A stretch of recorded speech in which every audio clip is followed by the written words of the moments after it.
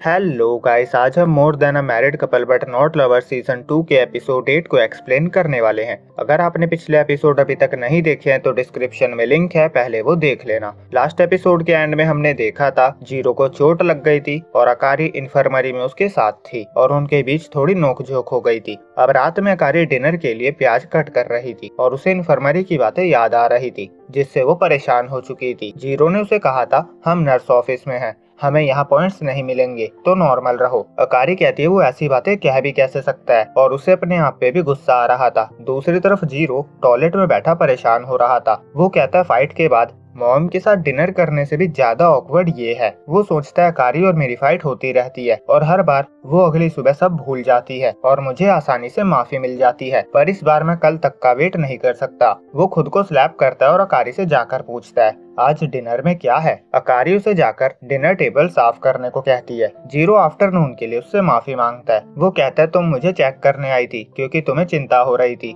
तुम देखने आई, इसके लिए मैं थैंकफुल हूँ। मिलियन टाइम्स थैंक्स और सॉरी मैंने फाइट स्टार्ट कर दी। मैं बस तुम्हें थैंक्स नहीं देना चाहता। मुझे एक सेकंड सोचने दो। वो थोड़ा सोचता है और फिर बोलता है, मैं जिस तरह से मिनामी और तुम्हारी बातें लाया, उसके लिए सॉरी और मैंने जितनी भी चीज़ें तुमसे सीक्रेट रखी, सभी के लिए सॉरी मेरे लिए तुम्हें बताना मुश्किल था। मैं सोचने लगा था, हमारी लाइफ एक रियल मैरिड कपल की तरह हो गई है। इसीलिए मैं पेयर चेंज करने के बाद तुमसे नहीं कह पाया। मेरे दिमाग में जो भी था, मैंने वो कह दिया। ये सब कुछ मेरे दिमाग में घूम रहा है। तुम्हें शायद अलग फील होता हो, पर हमारे बीच सब अच्छा चल रहा है। तो अलग होने की बात करना अनकंफर्टेबल है। ये एक डाइवोर्स जैसा है और ये मुझे सही नहीं लग रहा। अगर हम एक्चुअल में मैरिड होते तो मुझे नहीं लगता हमारे पास डाइवोर्स का कोई रीजन है। फिर वो अकारी को देखता है, जो फूट फूट के रो रही थी। ज़ीरो पूछता है, मेरी कौन सी बात ने तुम्हें हर्ट किया? अकारी नाइफ उठा रही थी। ज़ीरो उसके हाथ से लेकर नीचे रख देता है। अकारी कहती है, मैं रो नहीं रही। ये प्याज की वजह से है। तुम्हारी वजह से नहीं। तुम ज़ीरो हो। तुम्हें लगता है मैं तुम्हारे लिए रोऊँगी।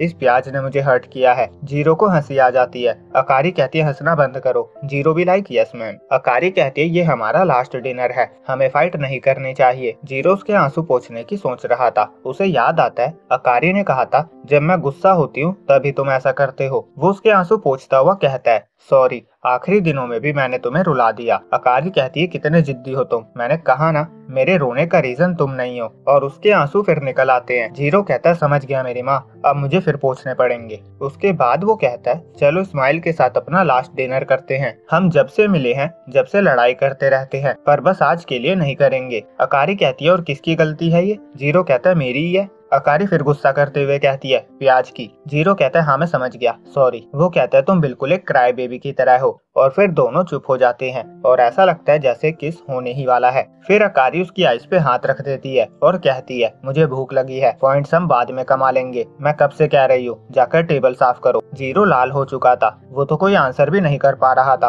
अकारी कहती है आंसर तो दो। ज़ीरो कहते, हैं हाँ मैं अभी करता हूँ। अब दोनों डिनर टेबल पे थे। और अकारी कह रही थी, तुम क्राई बेबी हो। तुमने मेरी आँखों को टच किया। तो ऐसा लग रहा था जैसे तुमने प्याज छू लिया हो। तुम्हारे भी आँसू आ रहे थे। वेल, खाना कैसा बना है? ज़ीरो कहते नॉर्मल है? अकारी कहती है, तुम्हारी वाइफ ने इतने प्यार से बनाया और तुम्हें बस यही कहना है। ज़ीरो कहता है थैंक्स आजकल तुम सब कुछ मेरा फेवरेट बना रही हो। तुम सच में ऐसी वाइफ हो जो मेरे लिए अच्छी है अकारी सोच रही थी, मैं क्या करूँ? मैं इससे प्यार करती हूँ। पर ऐसा लगता है, मैं उसकी अच्छी वाइफ बनने के लिए कितना भी कर लूँ, हम साथ नहीं रह पाएँगे। वो बालकनी में खड़ी स्काई देखते हुए कहती है, मैंने अपना बेस्ट ट्राई किया, पर कुछ काम नहीं आया। मैं क्या करूँ? मुझे बिलीव नहीं हो रहा। मुझे ज़ीरो इतना पसंद है। आई लव ज़ीरो तभी ज़ीरो हॉट मिल्क लेकर आता है और कहता है, तुम्हें ठंड नहीं लग रही क्या? अकारी सोचती है, कहीं इसने सुन तो नहीं लिया? वो पूछती है, तुम यहाँ क्यों आए हो? ज़ीरो कहता है, तुम चाहती हो मैं चले जाऊँ? और वो मन में कह रहा था, ये घर मेरा भी है। वो कहता है, मुझे चिंता हो रही थी, तुम्हें ठंड न लग जाए। वो उसे हॉट मिल्क देता है और पूछता है, अगर मैं भी यहाँ पीऊँ तो कोई प्रॉब्लम तो नहीं है? अकारी मना कर देती है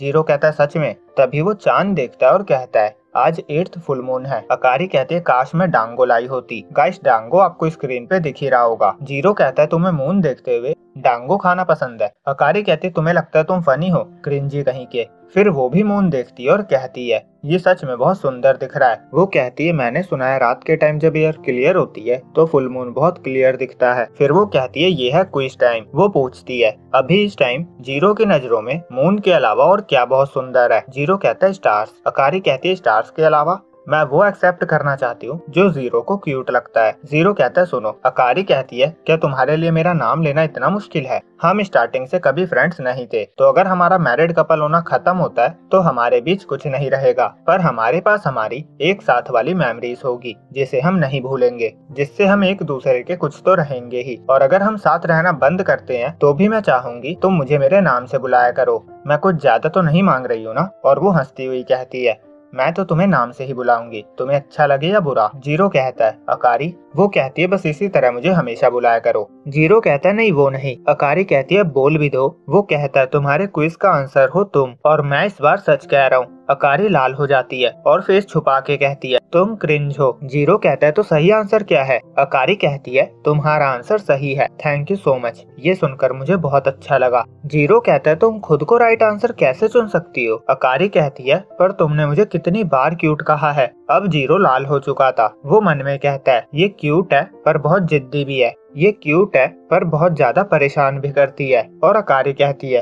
तुमने सुना है? मोन सुंदर है ना? इसका यूज़ कन्फेस करने के लिए किया जाता है। वो कहती है तो क्या तुम इसीलिए यहाँ आते ही मून की बात कर रहे थे? ज़ीरो कहता है, नहीं नहीं, ऐसा नहीं है। अकारी कहती है, मुझे पहले ही समझ जाना चाहिए था, पर सच में ज़ीरो, तुमने कन्फेस करने का बहुत क्रिंजी वे चुना है ज़ीरो कहता है, मैंने कहा ना, मेरा ऐसा कोई इरादा नहीं था। अगले सीन में दोनों अपने रूम में सोने जा चुके थे, और अकारी ने ज़ीरो को गुड नाइट मैसेज और स्टिकर सेंड किया था। ज़ीरो कहता है, हम साथ में ही रहते हैं तो मैसेज करने की क्या ज़रूरत थी? वो सेपरेशन नोटिस देखता हुआ कहता है, हमने बहुत टाइम साथ में बिताया। ये एक बहुत अच्छा एक्सपीरियंस रहा। वो बहुत सारी मेमोरीज को याद करता हुआ सोचता है। मुझे नहीं लगता मैं दोबारा किसी ग्यारू के साथ ये सब एक्सपीरियंस कर पाऊँगा। मैं ब्लेस हूँ कि मेरे पास इतनी सारी मेमोरीज है। ये सब बहुत वैल्यूएबल एक्सपीरियंस रहा और फाइनली वो साइन करने का इरादा कर ही लेता है। साइन करके उसे ऐसी फीलिंग आती है, जैसे वो डाइवोर्स ले रहा हो। और जब उसके आँसू उस नोटिस पे गिरते हैं, तब उसे रियलाइज़ होता है, वो रो रहा था। दूसरी तरफ़ अकारी ने ज़ीरो को मैसेज किया था, सुबह टाइम से उठ जाना।